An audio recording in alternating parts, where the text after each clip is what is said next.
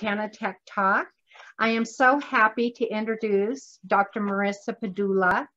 Uh, Marisa has been on campus oh, 15 years now, hence 15 years of virus discovery, right, Marisa?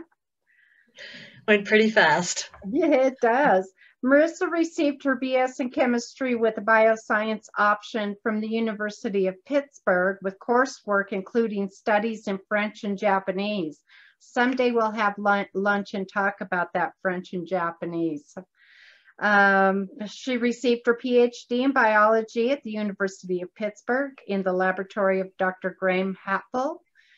And her postdoctoral position in Washington State University, where she ran the, I'm, I'm going to murder this, Baji Genomics. Close? Page. At Pitt, yeah. I always, I always pronounce that wrong. So uh, we're proud to have her, her here on campus. She is an absolute uh, fantastic resource for us here and for our educators at the uh, grade school, middle school, and high school. Uh, so please help me welcome Marisa Pedulla. Thanks, Peggy, for the introduction, and thanks for inviting me. Um, I really want to thank everybody who's on. I don't have a list of everyone there, but I'm going to try to figure out how to do that. Um, I appreciate you coming and taking the time for me to tell you about um, 15 years of work at Montana Tech, but mostly this is going to be a, a, hello and thank you to all the students and teachers uh, and colleagues that I've worked with over the years, um, which has really enriched my whole professional career. So I've been fortunate to have a, a super family uh, and experiences. Uh, after my time at Pitt, I came to Montana Tech, which is obviously uh, kind of a different institution, uh, but I've had wonderful experiences here. Um, starting uh, before I came in, in 1996, I, I, competed for the US in the Centennial Olympic Games in Atlanta, and that's me with much shorter hair uh, in the USA patch. Um, since then, I've been blessed with two great kids, Lana and Kyle, um, and Mike joined us in 2011. And I don't know if you can see the, the beast on the right, but that's Cher, and she gets me out for walks every day, which is probably a really good thing. Um, so I, I think this whole talk is going to really be about other people, particularly my mentors, heroes, and colleagues. Um, my parents and siblings obviously had a super great influence on me. Uh, high school teachers, I can just still remember their lectures to this day and the, the, the thrill I felt for science uh, with Mr. Messenger. Um, judo coaches, um, but a lot of the work that I'm going to talk about here um, was started in collaboration with my PhD advisor, and that's Dr. Graham Hatfull, shown on the slide here. Um, he was a, a young. Can I stop you there for a moment? Because uh, Raylyn, I see that you're on the call. Can you see her share screen? I can. Okay, you can. I, I evidently can't. So as long as you guys can see it, we're all good. Go ahead. I'm sorry. That's okay. Um, and so a lot of colleagues and students, kind of funny that Raylyn was just brought up, so she'll feature in this a little bit later. Um, and, you know, the teachers and students that I've worked with and my colleagues, I consider some of my dearest and most trusted friends.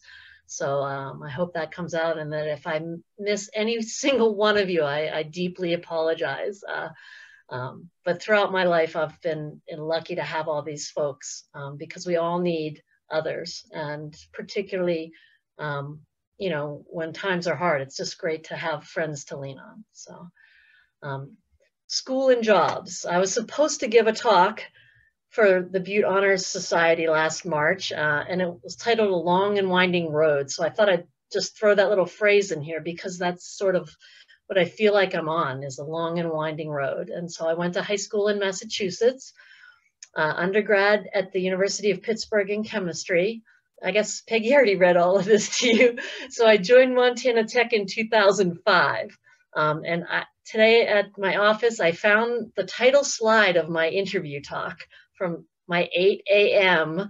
2005 uh, job interview, which was I proposed that bacteriophage isolation and genomics is a perfect tool for student voyages of exploration. And so you'll get to be the judge to see whether that proposal back in 2005 uh, bore any fruit over the last 15 years. Um, and so this has really been a partnership for research and education. And I hope that some of the partners in this 15 years of work really come up to the forefront in the next half hour or so. Um, and so this is a list of all the students um, whom, with whom I've worked over the last, in my lab. Um, and there are teachers on here who, who took sabbaticals uh, and student teachers who got their master's degree with me. Um, and I hope to come back to this list at the very end, should we have enough time, and highlight a lot of their amazing accomplishments. Um, but I just want to mention Kirk because he was the very first student. Um, Kirk is pictured down here uh, with the blazer on. And so I had gone around the campus hanging up signs of, are you interested in molecular biology? Do you want a research project? And who shows up at my door with one of these flyers in hand than Kirk Cadell? Um, and there could have been not a more perfect first student because Kirk, as you might guess from his blazer, is extremely particular and organized and wonderful. And his Isuzu Trooper was always washed, even in the middle of winter. And now Kirk is a surgeon in Mississippi. Um, and uh, I'll hopefully tell you some of the stories of many of these other students um, who passed through the lab. Um, I want to thank all the all the phage hunters, my students that were on the last slide, and other virus hunters and colleagues. Uh, Dr. Douglas was the department head when I arrived, and Dr. Kenzie is now the department head of biology. And I think we've all worked together to make a great experience for our students and get them to where they want to go. And, and that's what I take the greatest of pride in. Um, Raylyn, uh, that you just saw, Raylyn Brandel, um, I've partnered with from 2006, I think, our first teacher academy on, um, and I'm thrilled that CFWEP, along with Chris Doyle, who's been our man in the streets in the classroom, uh, I've just been honored to work with them for, for the last more than a decade. And lastly, I, I want to appreciate uh, Dr. Beverly Hartline, who's our research director and dean of the graduate school, who's always offered me encouragement and helped us put our grant proposals through to the National Institutes of Health and encouraged me to take uh, steps forward that I might not have taken in, without her encouragement. So thank you, Dr. Hartline. Um, some of these other partners are our Montana K through 12 teachers. And I'll tell you a little bit about Sandy Wardell, who uh, attended a 2005 teacher training in the University of Pittsburgh right before I moved here. And her classroom was the first one I visited in Montana in October of 2005. Uh, for some of you who don't have a lot of background in microbiology, I'll give a little overview of what these phages or bacteriophages are. And I really hope that through my excitement about this whole project, um, that I'll convince you that they can enthrall and educate students while producing genuine scientific discoveries, DNA sequences on GenBank, and the potential medical application, which have come to fruition through Dr. Hatfull's work. And then I'll wrap up with uh, the National Student Awards Committee, uh, which is really uh, given me a lot of satisfaction and enrichment in my career to work with some of Montana Tech's top students toward uh, achieving Goldwater and other scholarships. Please let me know if I'm going too fast or if you can't hear me. So I'm happy to slow down or, you know, inter be interrupted. But um, so for basic biology, uh, like viruses that are a little bit in the news for the last year, um, are not cells. Viruses are not all pathogens of humans, right? There are all kinds of viruses out there, some that infect plants, some that infect animals, some that infect amoeba, and some that infect bacteria. And those uh, that I'm trying to highlight here with my pointer are called bacteriophages. And those are the focus of all the research that my students and teachers and colleagues and I have worked toward at Montana Tech. Some viruses have RNA for their genomes, and some viruses, like most all of the phages that we study, have DNA for their um, information storage. All viruses need a host cell in which to replicate. So these phages all attack bacteria, and the bacteria reproduce more of the phages. So their life cycle is shown here. Um, so a phage lands on a bacterium, injects its genetic material. The bacterial cell is taken over and used as sort of a, a host cell that copies the virus genetic material, does the processes of molecular biology, transcription and translation to build the viral proteins from the instructions of the viral DNA. Right, those proteins assemble into new virus particles called virions, and some of the proteins encoded by the virus cause the bacterium to explode, releasing full-formed progeny viruses out into the environment. And this is a lovely cartoon. Uh, a real electron micrograph of one of the Montana Tech phages is shown here. And this bar represents 100 nanometers. So therefore, um, the scale of those pictures on the left is not accurate at all. Um, this is actually the picture of uh, an electron micrograph of viruses adhering to a bacterial cell. And they recognize proteins on the bacterial surface and attach to them. And they're very specific, right? And so they're also much smaller than the bacterial cell, unlike this cartoon.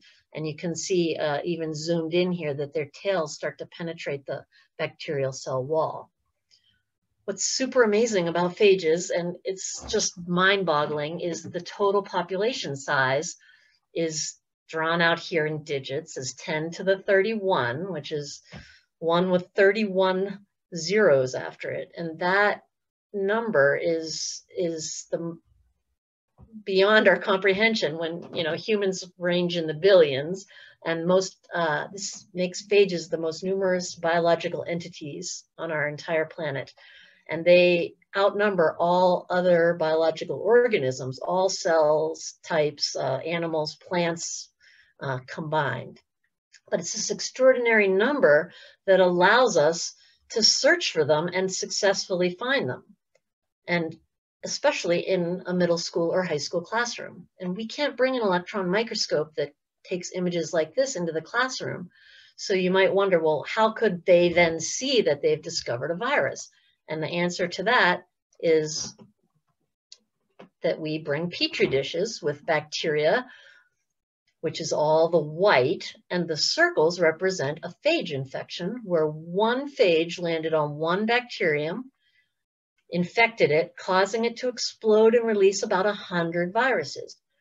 That process, those 100 viruses go on to infect 100 more bacteria and go through the same process so that each of these little circles contains about a billion phages. Okay, so what's the medical relevance?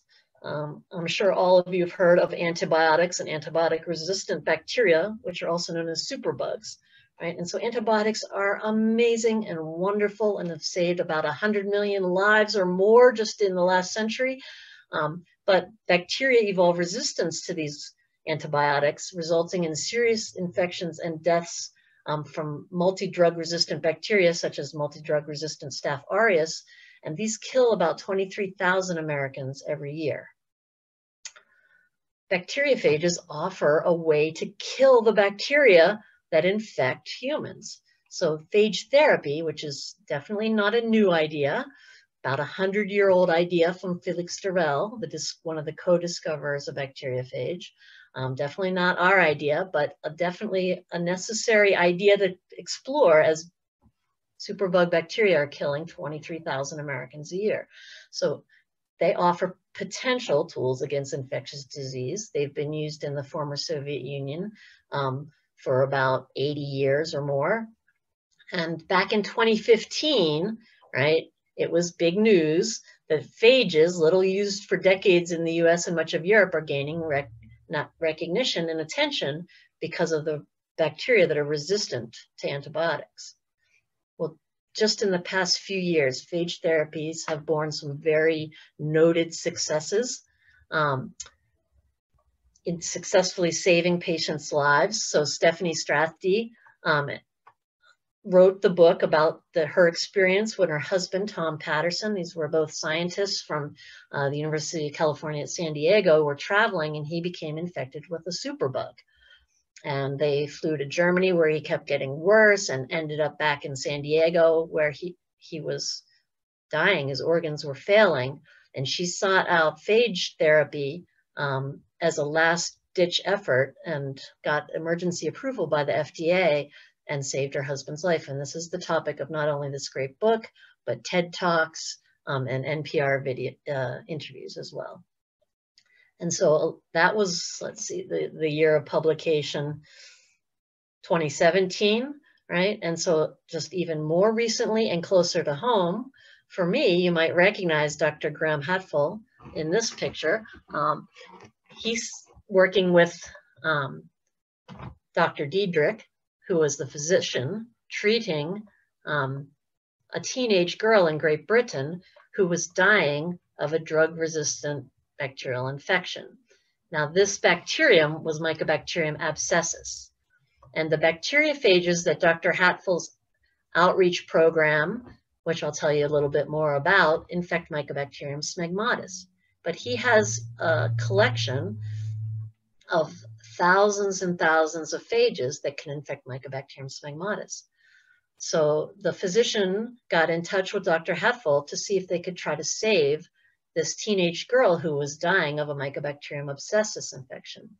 And he went to his collection of phages, of which Montana Tech student phages are included, and our outreach students' phages are included in this collection. And he went to the freezer and he tested phages against the exact bacteria that they mailed to her that was from um, the patient. And three phages, Zoe, BPS, and Muddy, were found that could infect the bacterium that was killing her. And they treated her with billions of phages every few hours. And she had been on palliative care. She was, you know, being released to, to die. And these phages saved saved her life. And again, these are uh, now really public stories that are in the news and really have raised the excitement level of the potential for phage therapy. Um, and so Dr. Hatfull was really the greatest of mentors and he always sent me out the door to competitions with good luck, see you when you get back, never worrying about a day that I missed out of the lab, right? It was not his concern. I was following my passions and he knew that I would apply those same passions, right, to my research. And I, I hope that I've imbued that same same philosophy in my students is do what you love and love what you do and the next thing you know you're going to have a really successful outcome. So um, what dr Hatfull uh, philosophy and overview of the phage discovery program that that we developed was that you don't have to be a physicist to ride a bike right? You just have to get on and start pedaling. You can learn about friction and angles of torque and all how the gears work. You can learn about that as you get interested, but get on and start pedaling. And so this is the same thing I tell the students. You don't have to have a PhD in microbiology to discover a virus. You just have to do these simple steps. We're happy to help you and you get to name it, right? So part of the reason that Dr. Hatfull, then later Howard Hughes Medical Institute, were interested in providing research experience to students and young college students as well is that people have a weird idea in our society of what a scientist looks like and what we do. And I'm not sure, you could tell me or don't tell me which one of these drawings of scientists I look most like that seventh graders drew before they ever met a scientist, right? Like they just don't, the the public press, the media, everyone kind of shows scientists as, as stereotypical individuals who don't really represent uh, the big collection of scientists that, that go about our work every day. Um, and, and that what we do, I think of weird experiments and bottles of chemicals, right? Um, so what did we do? Well, starting in 2003, I went to a public or to a Catholic high school in Pittsburgh with 100 students through the first stages of phage discovery. Um, we brought in undergraduate researchers as mentors. That's Kostya from Albania. And then any interested students could participate in further down work. We could go back to the schools and visit with the DNA sequences and do some bioinformatics, right? And so that was 2003 in Pittsburgh. And that program went completely, excuse the pun, viral. Um, Howard Hughes Medical Institute adopted Dr. Hatfull's program that I developed with him called SEA-PHAGES, which is Science Education Alliances. And they've also built a database to collect all the information of all the phages that have been collected from these outreach visits and in colleges where the SEA-PHAGES program is now in over 100 colleges across the country, across the world, including Montana Tech. Um, there have been over 18,000 phages discovered. This was captured on uh, the 4th of November when Peggy and I started talking about uh, this, this talk. And about 3,500 complete phage DNA sequences have been determined.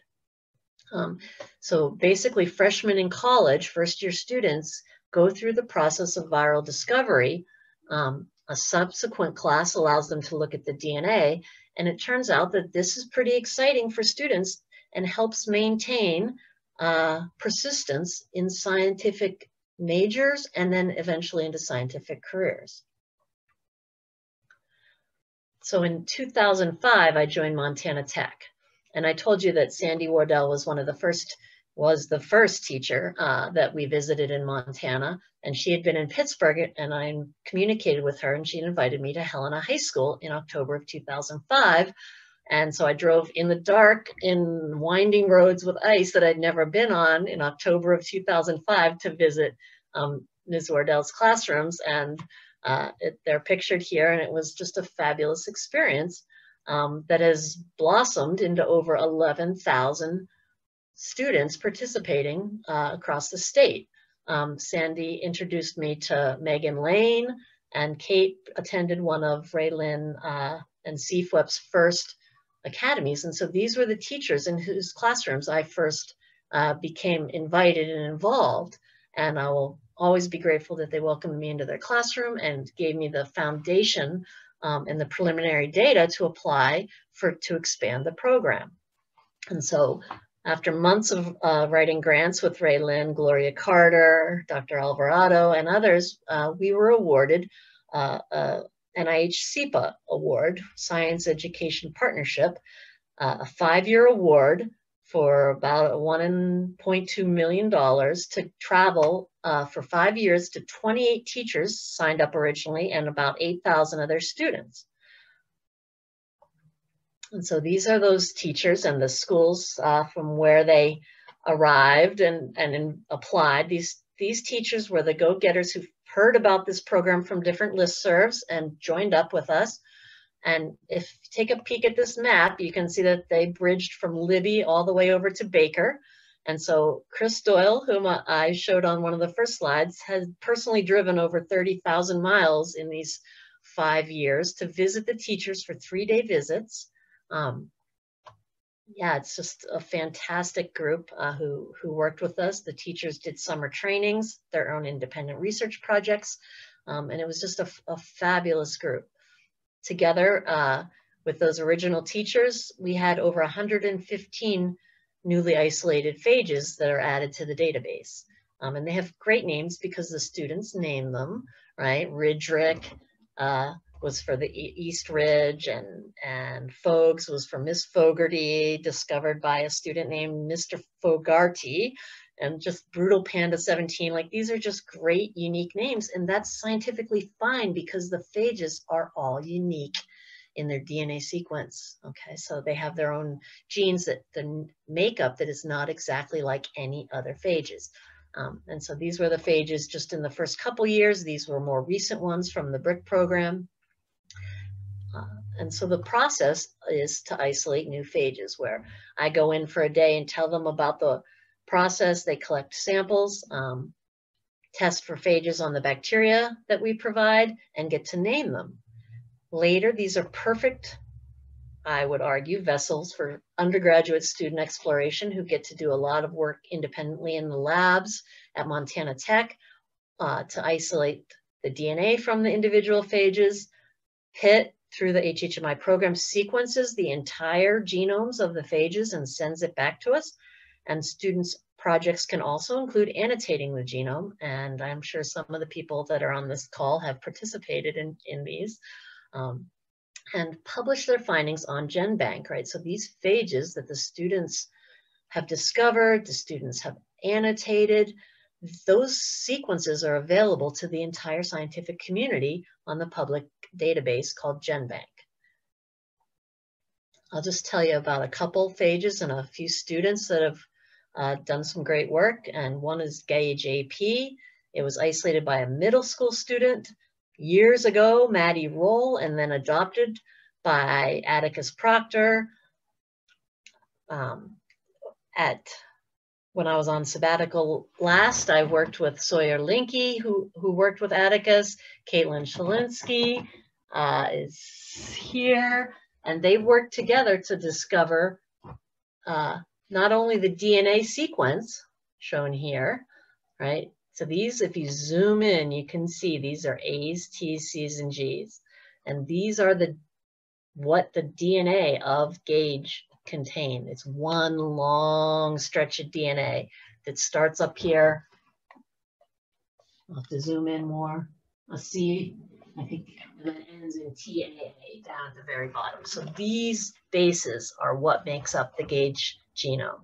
Okay, that doesn't mean much to anybody, right? They're just a bunch of letters and gobbledygook, right? But the process of gene annotation that those four high school students did on their um, in their spring uh, found all the genes using computers, right, to compare to everything else out there. Again, this would be in one long line if it could fit on the screen, but these are the, the 50,000 plus base pairs, and then looks like 92 genes were identified, right? And this phage is on GenBank now with those students as authors.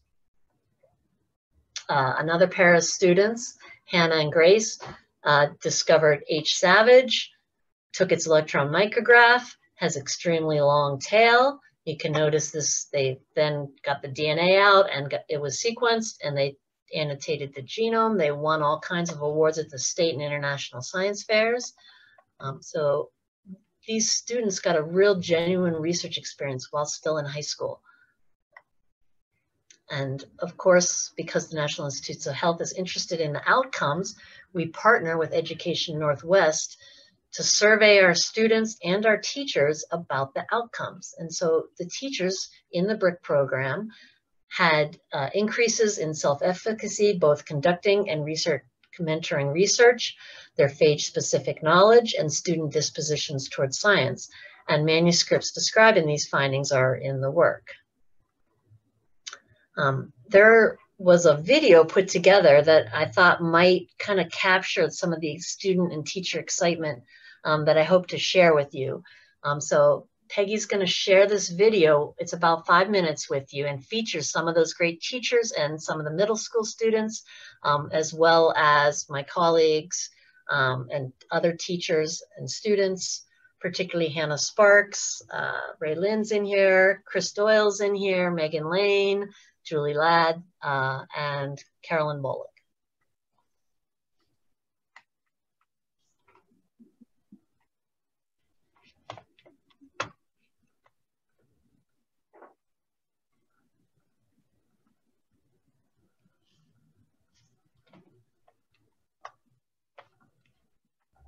I like science because you get to use your hands and you get to find like stuff that you've never done before and experiment. Science is interesting because you can, in some aspects, you can like help the world and make the world a better place. I think science is really cool because um, you always have the chance to like discover new things.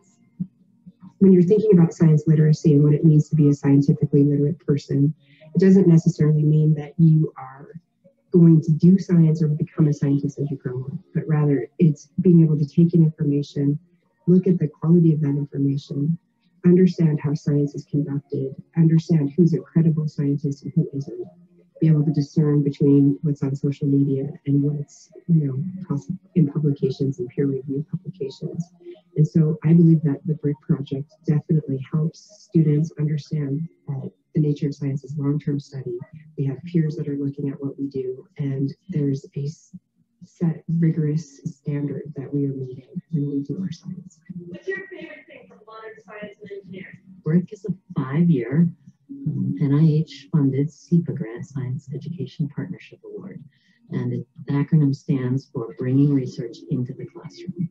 We provide three days of science outreach to thousands and thousands of students across Montana.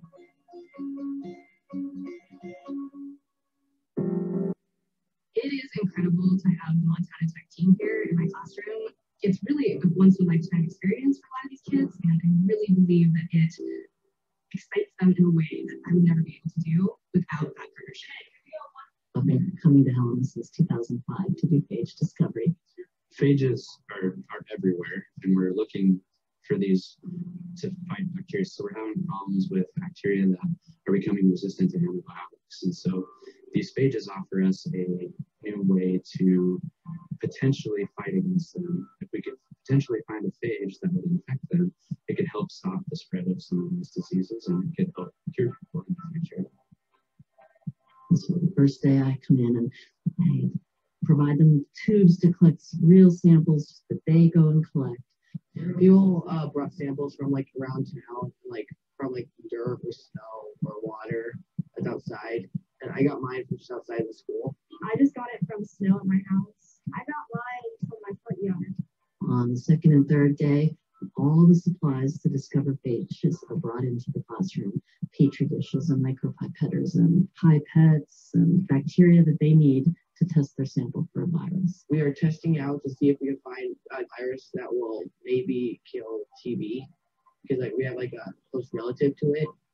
So we're testing it on that and maybe if it works on that, it might work on TB. They get to filter their sample through a very, very small pored filter to separate the bacteria from the viruses. And the students hands-on do each of these steps after having it demonstrated for them. I've never done anything like this. I think it's really cool that we've had this opportunity. Just seeing that spark is really exciting, and I try to capitalize that when I talk to students. I try to capitalize on that excitement about it because that's the first push. You want to get kids more excited. After the second day, those petri dishes go into the incubator, and on day three, they come back to test any possible circles on their petri dish, plaques or death zones, for the verifying that they can kill fresh bacteria. When students discover a phage, it's new to science. And when you tell a student that, that's mind blowing, right? Like that's like explorers, and I mean, we don't often have the opportunity in our world to discover something brand new. And when you discover a phage in your sample, it is brand new science. They get to name that phage, it becomes a scientific name, their name gets entered as the discoverer. Um, that is super cool.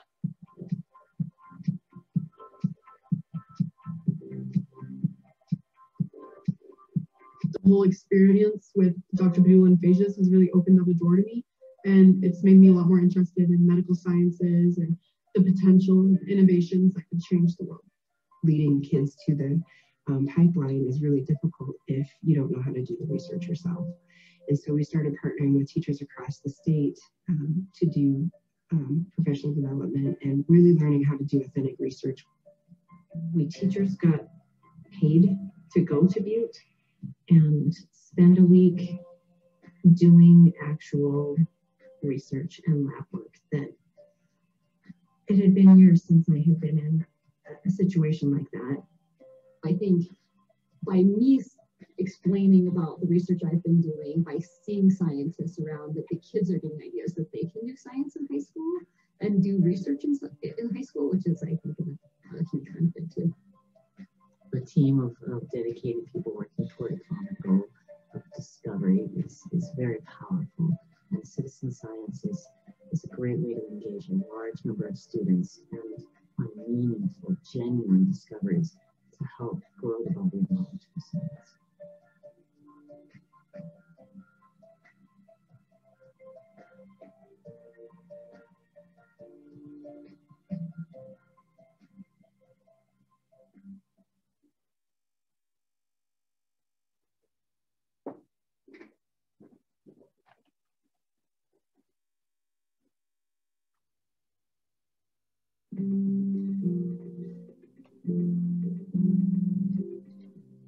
Have a unique opportunity in Bosch Sunnyvale where we have the ecosystem of. Sorry about that.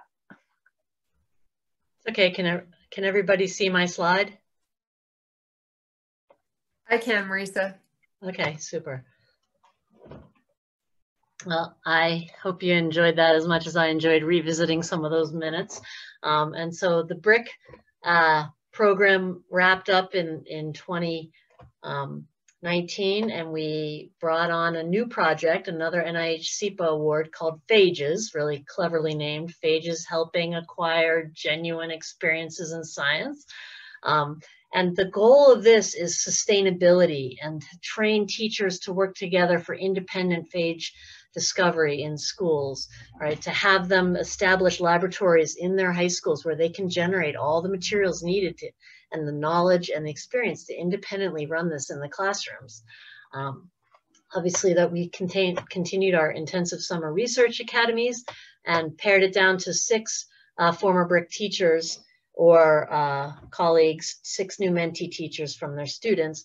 And the idea is that if every one of those 100 colleges faculty took on one school across the country, that we could have thousands and thousands and thousands of students across the country doing this. We're aiming to provide a model for the faculty in the 100 SEA-PHAGES colleges um, to be brave and go reach out to those teachers because, you know, until you meet them, you know, they, they could be intimidating perhaps, who knows?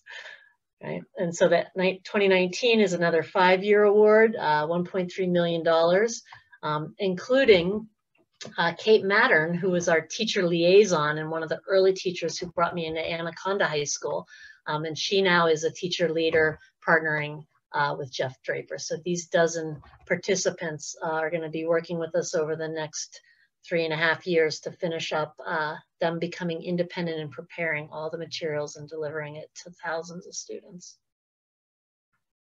So here's where they are, all the way from Baker over to Anaconda, um, including a pair of Macaulay teachers in um, Boulder. We had the idea that if SEPA wants Science Education Partnership, wants to influence the pipeline, that we should probably help them build a pipeline between these middle and high school students and college ex experiences. And so Montana INBRE is located in many institutions around the state and housed at Montana State University. And we partnered with them piloting in 2018, having students who participated in the SEPA phage discovery have a summer full of research at one of the INBRE institutions, especially Montana Tech. And so those four students from 2018 worked out super. And then in 2019, we had four students, Emily, Cassie, Henry, and Grace as part of the PHAGES program. And this past summer, Kylie and Jaden. And uh, here's their poster session last summer. Uh, and Kate Mattern, the teacher that I told you introduced us to Anaconda Schools. Future directions for the PHAGES program are to continue these uh, programs to develop the sustainable and independent delivery, to look at the DNA sequence of these phages and compare them to one another. And really exciting for students and me uh, to look at phages of ecologically economically important bacteria. Flavobacterium psychrophilum infects cold water trout and kills about half the trout when it breaks out in the, in the fisheries at Washoe. And so if we can find phages that will kill this bacterium, perhaps we can prevent some of these bacterial outbreaks of cold water disease that kill the trout. Um, I think from 15 years that I, I, really believe that students can do meaningful research in their classrooms. And our evidence for this are the phages they've discovered and the phage DNA sequences that have been uploaded to GenBank for the entire world. These phages would have never been discovered without the students going and digging in the dirt and their teachers allowing us in their classrooms for three days out of each year. Um, we've developed SEPA and INBRE programs to foster a pipeline from high school to undergraduate researchers and hopefully keep the excitement of genuine research uh, in a full-time experience for students who might not have otherwise had that opportunity. And for financial reasons, we can support them rather so that they in the summer can do research uh, in between college semesters whether or not we've had you know, an impact on the students is, is being tested through our, our um, evaluation. And I think that they've shown great increases in knowledge of phage, disposition towards science, interaction with family members. Um, but the seventh graders decide, uh, after, describe their visit after they visited a scientist. Anyone can be a scientist. Maybe I can be a scientist.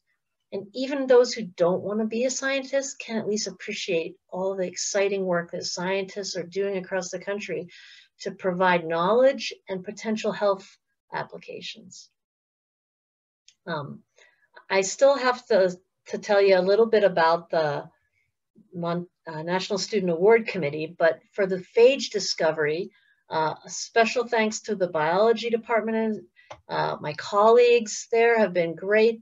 I've really appreciated Dr. Douglas when I got there, letting me go and do these visits, never worrying about, you know, why I wasn't there on a Thursday afternoon. He found out I was at East Middle School. Um, my colleagues at CFWEP, Raylan and Chris particularly, um, have just been fantastic uh, in terms of motivation and organization and, and helping encourage each other and work with these teachers and students. They've just been an inspiration to me. Um, Montana INBRE funded my first five years at Montana Tech and got me connected um, with the idea that there's a SEPA program out there and Dr. Tony Beck and the SEPA program have supported us uh, for the last seven years. Couldn't have done any of this without my training at the University of Pittsburgh, particularly my mentorship by Dr. Graham Hatfull and the DNA sequencing techniques and bioinformatics analysis I learned as, as a postdoc at the Bacteriophage Institute. Um, Howard Hughes has adopted this and spread it to 100 colleges.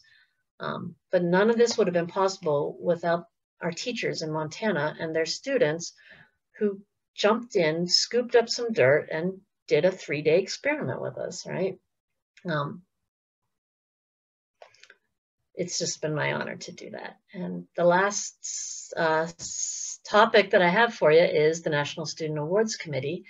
From 2006 on, when our former chancellor, the late Dr. Frank Gilmore, approached me to try to help students apply for Goldwater scholarships. And in those 15-ish years, we've uh, supported many student applications, six of whom have been awarded Goldwater scholarships. And these are enormously prestigious national scholarships. These students are lifelong Goldwater scholars. They will forever be lifelong Goldwater scholars and go off to do great future research uh, in their professional careers. It's sort of a, a, a leap, leaping stone for them. We've had five honorable mentions, two students interviewed for the Rhodes Scholarship, which are finalists for the Rhodes Scholarship, one of the most prestigious collegiate scholarship uh, on the on the planet. Um, three Leroy Walker Champions of Character, and Katie Tabaracci here receiving the Montana Athletes and Service Award. And over the last 14 years, it's been a terrific crew of faculty, staff, just my colleagues who work for months on end to support these student applications. Um, it takes a severe dedication and, and, reading and meeting and meeting and reading and talking uh, to bring these students to the point where their applications are, are just robust and, and we're so proud of the students and I'm so happy to have worked with these great folks over the last 14 years yeah, I think I've thanked all, all of these guys already. They've just been the greatest. We've had great evaluation. Uh, Dr. Jim Driver has helped us take most of our transmission electron microscope uh, images. And depending on time, I can just give you one minute rundown of all of several of these students. Kirk, I told you about, he's a surgeon. Andrew's a PhD scientist. Christine was a vet tech. Matt Nottingham was an optometrist. Eddie became a physician assistant. Curtis became a pharmacist. Uh, Robert Lester worked with me from the time he was 10 till he was 18, and he now holds several college degrees. Dr. Jason Park got his PhD at Texas A&M. Dr. Corey Sonneman uh, is now a psychiatrist practicing in the area. Jana Laslovich now is a ortho orthodontist. Kim Jenkins is a PhD audiologist at Walter Reed. Uh, Carla's a pharmacist. Rachel's a teacher. Kate, I told you about, she's pictured behind the words here, uh, a super colleague um, who got her master's degree here. uh, was our teacher liaison through the BRIC program and now a teacher leader in the PHAGES program. Austin got his master's degree with me and is a fish, wildlife, and park ranger. Uh, he actually was getting our tags organized for us when, when we showed up at the Smith River. So he was a, a FWP uh, ranger at the Smith River. Kelsey Amundsen went to dental school. Tyler Hilton went to uh, graduate studies at Tech at Baylor. Um, let's see, so many of these folks. Ryan Hensley was uh, an honorable mention for the Goldwater, and um, Shannon went to pharmacy school. Ryan went to Lawrence Livermore National Labs, and then to Virginia Tech for a PhD program. Um, Adam went to medical school at Creighton. These were the, the high school students when I was on sabbatical seven years ago. Told you about Katie's, went to PA school. She won the Champions of Character Award. Uh, Margot pictured over here went to dental school. Chloe went to PA school. Luke is in DO school. Hannah um, just graduated with her master's and is now a research scientist at a biomedical research firm. And let's see, Abby just graduated this this fall uh, and annotated the a bacteriophage genome as well as discovering a phage. And Kylie is currently an undergrad working with us uh, in the phages program to prepare materials and further work on the phages that have been discovered. So I've just been thrilled to work with all these amazing folks. Thank you, Marisa. Thank you for all that information and everything you do. We are going to open it up for questions. Um, if you do have a question for Marisa, uh, please feel free to unmute and ask the question, or you can type it in the chat and I'll relay the information to uh, Marisa for your answer.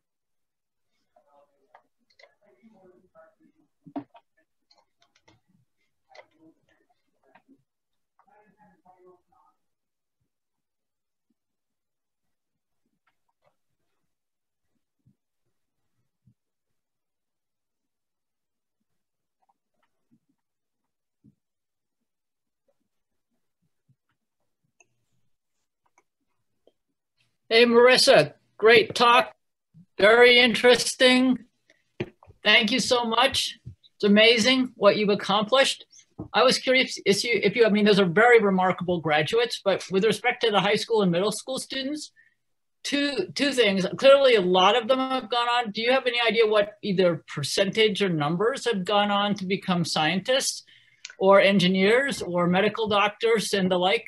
Uh, and also how many have continued to come and come to tech? Because I know there are a number of students who've gone from your high schools to tech who might not have done that if you hadn't had the partnerships with their schools and Chris and you and all been in their schools working with them from the time they were 12 or something. Uh, well, thanks, Bev. Uh, thanks for the question too. We don't have the uh, data from the schools, like that's protected data that we have to get access to and this, that's something that we've been very curious about. We have added questions to our surveys of the students. Are you you know have you thought about college? Have you thought about montana tech both before and after for this new phages grant? So those data will be forthcoming for the students who are participating in the phages grant. Um, certainly anecdotally i can name handfuls of students who have gone to tech um, most of them probably wouldn't be off to professional school yet. Those are more the undergrad students that I've worked with that I was naming um, in terms of those who have gone off to professional school or PhD programs. Those were mainly Montana Tech students. Uh, only a couple of them had been BRIC or uh, uh done outreach before the BRIC grant was awarded. So, but uh, what, what, what, and I know your teachers, many of the teachers you've worked with, I mean, I don't know if that number is now 28 or 48 or whatever, but several of those have gone on to get PhDs, to get other degrees, to um, masters, whatever. And I'd be interested to hear from you, like what that percentage is there. And I know they've gone on to become teacher leaders in their communities. Yeah, we've had teachers honored with the Teacher of the Year, both at the state level, um, at the national level, uh, master's degrees for at least two. One's two are pursuing PhDs in education.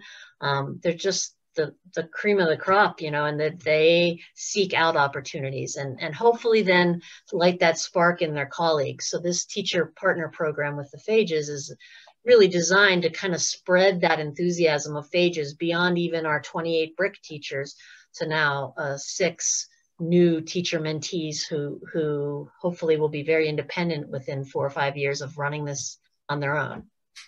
Are they working with other teachers near nearby in the sort of their corner of the state?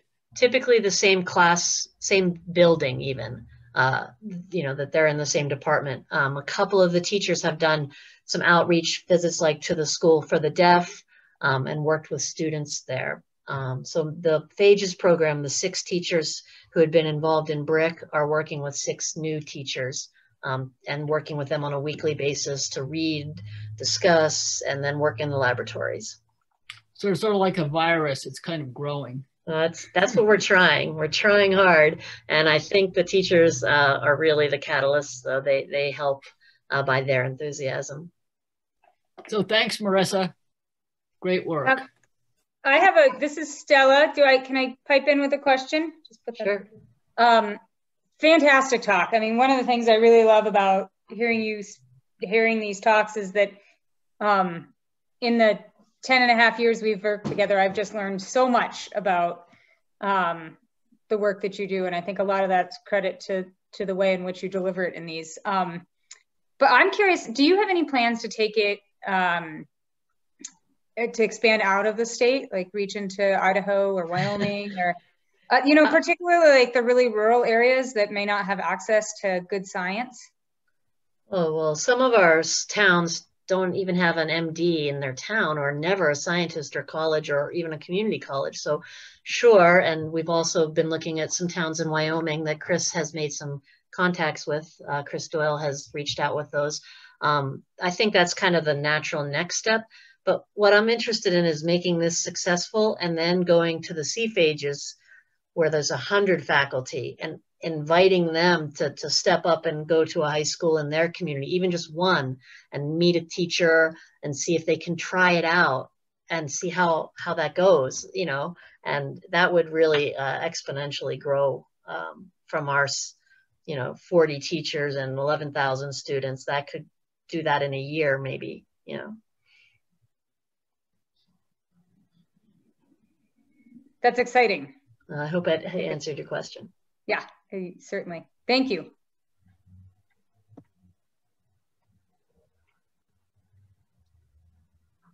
Are there any other questions for Marisa?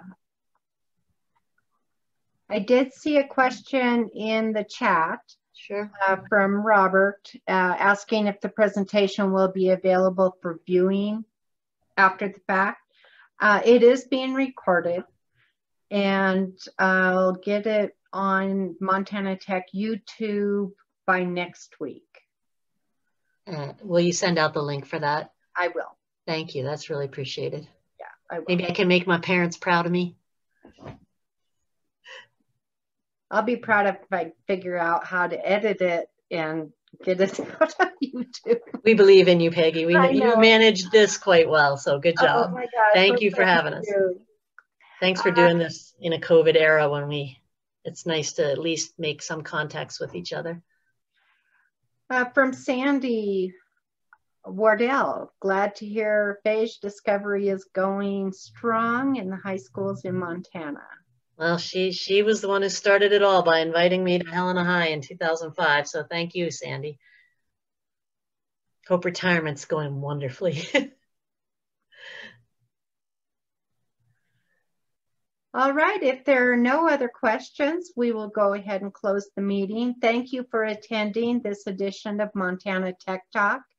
Our next edition will be in January 20th.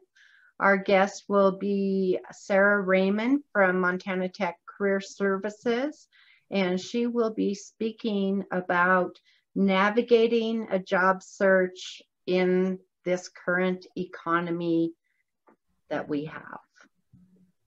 So information will be posted on the calendar on Montana Tech's website.